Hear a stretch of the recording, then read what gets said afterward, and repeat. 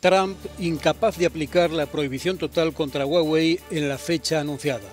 Washington se ve obligada a aplazar 90 días el veto a la tecnológica china.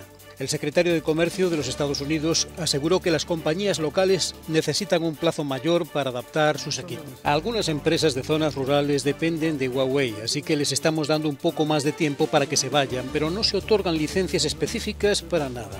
Mientras dura la prórroga, el gigante tecnológico chino aún podrá comprar suministros de compañías estadounidenses y atender a sus clientes. Trump quiere frenar el desarrollo de Huawei que a su vez reacciona y mira hacia Europa para expandirse. La inclusión de la empresa china en la lista negra económica de Estados Unidos perjudica a empresas del propio país.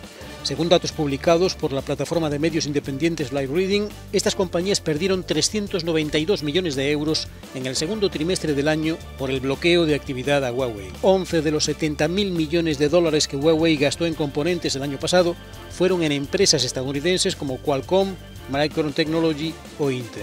El presidente de Western Digital dijo que cuando su compañía suspendió los envíos a Huawei, el gigante tecnológico chino lo que hizo fue comprar a sus competidores que no se vieron afectados por la lista negra de Trump.